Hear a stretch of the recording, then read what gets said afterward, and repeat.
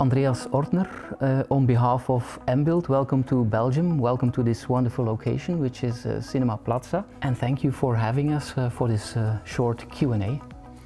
Hi Wim, uh, it's up to me to say thank you to have the possibility yeah, to speak with you. And I'm quite curious about your questions. Okay, so I won't keep you waiting then. Embuild has um, four objectives for next year's election, uh, one of which is uh, sustainable and affordable housing. In which way do you think um, a new construction technology such as cross-laminated timber can help us support this objective? Yeah, in fact, uh, the cross-laminated timber, the famous CLT, um, it is it is actually one of the one of the really yeah, materials to favorize uh, in building construction because we can do it uh, in a prefab uh, way. We can do the most of things there in the production.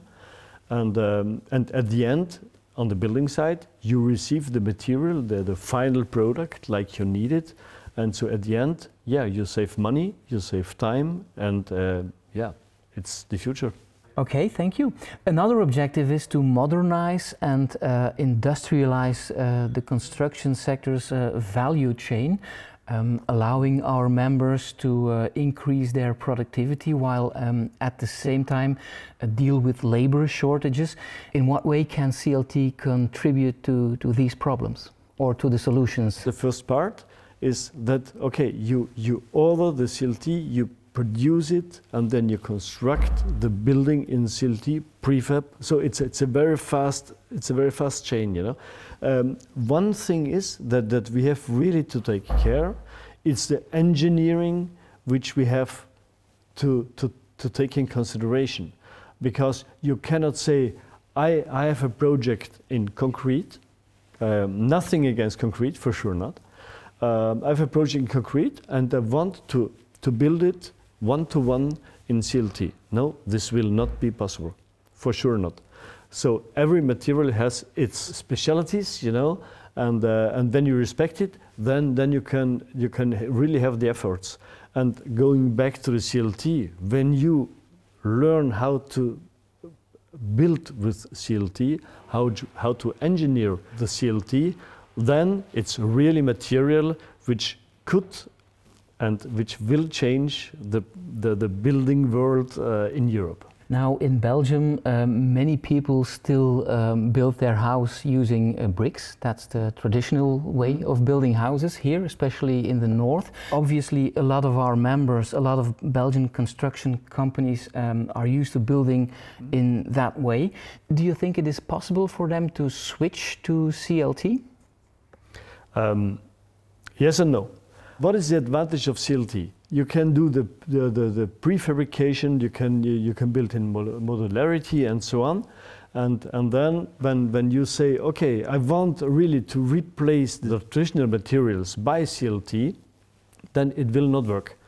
Uh, but when you say, okay, the future is the hybrid construction, which means I take the right material for the right use. It could be steel, it could be bricks, it could be uh, concrete, it, it, can be, and it will be for sure also CLT. So uh, then, then it's, it's, it's, quite, it's quite difficult to do a prefabrication in the company. So for that reason, I say I have to say no, but yes, in the way that you say, okay, I do the modularity uh, construction method, mm -hmm. so which means I'm, I'm really I'm doing yeah, the cubes and I, I don't know what, with the windows, with the frames, with the doors, uh, with, the, with the bathroom. Uh, really, I do the finished elements and uh, transport it to the, to the uh, construction site. Um, then, then, for sure, CLT can change absolutely the construction world in Europe. Now we live in turbulent times. There was COVID, there's a war going on in uh, Ukraine, another one in the Middle East. Apart from the, the human suffering, um, the global instability also causes prices of construction materials to rise. Do you think that um, switching to, to timber um, would make us less vulnerable to international markets?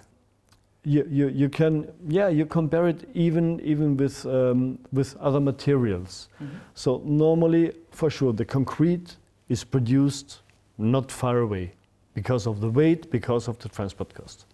Steel is already a little bit different, you know. Uh, but the timber, when you, when you look at more than 90% of the sawmills, they are buying the raw material, the logs, in a radius of maximum 150 kilometers. Why?